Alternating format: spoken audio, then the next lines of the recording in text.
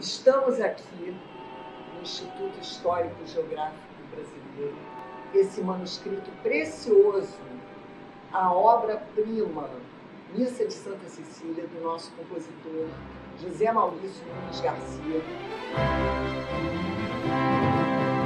É uma obra monumental, como vocês podem perceber. Foi doada ao Instituto Histórico Geográfico Brasileiro pelo filho de José Maurício, em 1853. Ela foi escrita em 1826.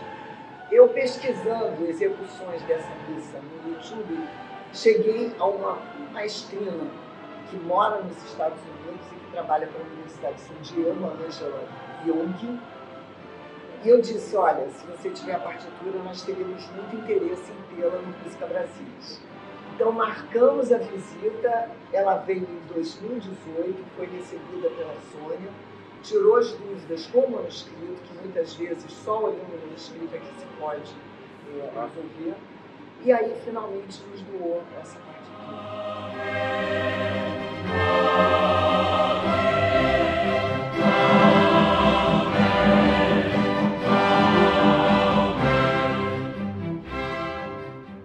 A obra lidar com os originais e principalmente preservar, eu acho que o Música Brasileira ele, ele faz o passo seguinte, ele faz com que as pessoas tenham acesso. E para que tenha esse acesso, o material tem que ser trabalhado digitalmente por nós, por músicos, por historiadores. É um trabalho que não é pegar, olhar e botar nota, não, é toda uma história que a gente vive.